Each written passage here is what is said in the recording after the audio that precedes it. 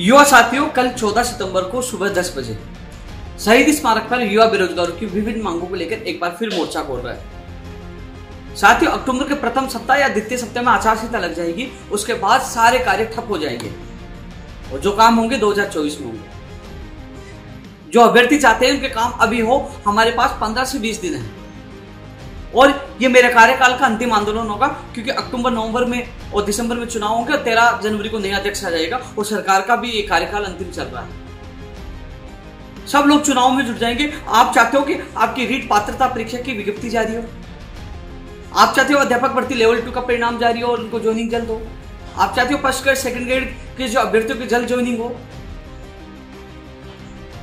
आप चाहते हो पंचायत राज जैन भर्ती के नियम संशोधन हो, चाहे कमांड भर्ती का हो, चाहे उन्नीस सौ अठानवे के बाद जो पहली बार नियम बन रहे वो नियम बने और फिर भर्ती की विज्ञप्ति जारी हो। कनिष्ठ अनुदेशक भर्ती आईटीआई कॉलेज वाले वो चाहते हैं कि वो सब कुछ कंप्लीट है, केवल विज्ञप्ति जारी है। जो तमाम, चाहे व्यक्ति संदर्भ जो अभ्यर्थी हैं, उनका मामला हो, चाहे वो विषय शिक्षक सेकंड ग्रेड वाले हो चाहे जो नई पीटीआई भर्ती की मांग कर रहे हैं, चाहे जो पीटीआई ओनली काउंसलिंग वाले अभ्यर्थी उनकी ज्वाइनिंग का मामला हो, चाहे अध्यापक भर्ती लेवल वन में जितने पद रिक्त है, उन सभी पदों को भरने का मामला हो तत्काल सभी पदों को भरा जाए। नई फ़र्स्ट ग्रेड सेकेंड ग्रेड इन तमाम भर्तियों की विज्ञप्तियाँ जारी और पदों की संख्या बढ़ाई जाए। शिक्षा विभाग में नाम मात्र अड़तीस पदों पर जो वित्तीय स्वीकृति मिली, उनकी पदों की संख्या बढ़ाई जाए। एक लाख पदों पर भर्तियाँ निकालने की राज्य सरकार ने घोषणा की थी। उनकी विज्ञप्तियाँ जारी हो, उनका भर्ती परीक्षा का कैलेंडर जारी हो। यह प्रमुख तौर से ये कल होने वाले आंदोलन में सरकार के सामने मांग रखी जाएगी। वही जो प्रक्रियाधीन, जो भर्तियाँ एक लाख के करीब, उनकी ज्वाइनिंग आचार संहिता से पहले ये मांग रखी जाएगी। Librarian second grade third grade वाला मामला हो, रीट पात्रता के साथ साथ रीट लेवल टू की ज्वाइनिंग जो तमाम जो मामले हैं, उनको लेकर कल मोर्चा खोला जाएगा। और साथ में एक अनोखा एक ये प्रदर्शन शानदार तो होगा ही लेकिन इस बार जो शहीद स्मारक पर जो लोग पहुँचेंगे मांग पत्र वहीं से बनाया जाएगा कि कौन सी भर्ती के लोग पहुँचे और वो चाहते हैं उनके सपने पूरे हो तो मांग पत्र वहीं से तैयार करके सरकार के सामने कल जो मांग पत्र तैयार होगा, जहाँ वो लोग पहुँचेंगे अपनी मांगों के लिए, उनको प्राथमिकता देते हुए मांग पत्र वहीं तैयार किया जाएगा, धरना स्थल से, और फिर सरकार के सामने रखा जाएगा। और सरकार के सामने ये भी रखा जाएगा, इस बार चुनाव में सबसे बड़ी भूमिका युवाओं को होगी। युवाओं की तमाम मांगे पूरी होनी चाहिए, चाहे वो बजट की घोषणाएँ हो, चाहे नई भर्ती की विज्ञप्तियाँ जारी करने का मामला हो, चाहे परिणाम जारी करने का मामला हो, चाहे ज्वाइनिंग देने का मामला हो।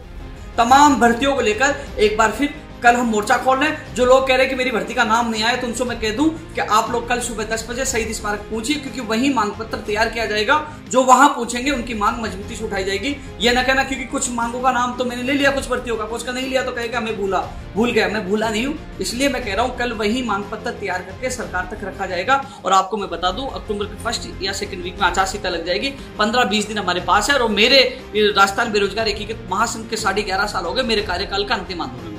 उसके बाद चुनाव में हम वोट की चोट या जो भी अभियान चलाएँगे, वो चलाएँगे, वो आंदोलन नहीं होगा, लेकिन ये आंदोलन धरातल पर अंतिम आंदोलन क्योंकि फिर आचार संहिता लग जाएगी, फिर कोई आंदोलन नहीं होगा, सारे राजनेता चुनाव में बिज़ी हो जाएँगे।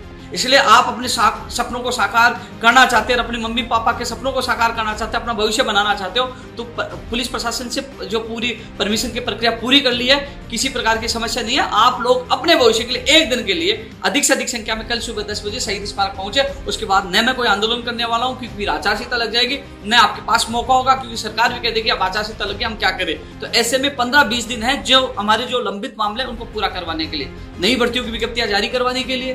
जो प्रक्रियाधीन भर्तियों की ज्वाइनिंग के लिए और जो नियम संशोधन करवाने कई भर्तियों को, उनको लेकर ले हमारे पास पंद्रह से बीस दिन है। इसलिए कल आप सबसे मेरी अपील है, अधिक से अधिक संख्या में पहुंचकर एक बार अपनी आवाज़ बुलंद करें क्योंकि चुनाव है जितनी इस लोकतंत्र में जितनी भीड़ तंत्र होगी, उतना मैसेज सरकार तक जाएगा, क्योंकि इस चुनाव में युवाओं का बड़ा रोल होगा, क्योंकि युवा वोट की चोट भी कर सकते हैं, युवा जिता भी सकते हैं और हरा भी सकते हैं। इसलिए सभी युवाओं से अपील है, कल सुबह दस बजे शहीद स्मारक, अधिक से अधिक संख्या में पूछकर अपनी आवाज़ बुलंद करें और इस वीडियो में जिस व्यक्ति का नाम नहीं लिया वो पूछे, क्योंकि कल मांग पत्र वहीं से तैयार करके और सरकार के सामने आपकी मांगों को बुलंद किया जाएगा और मांगों को रखा जाएगा। धन्यवाद।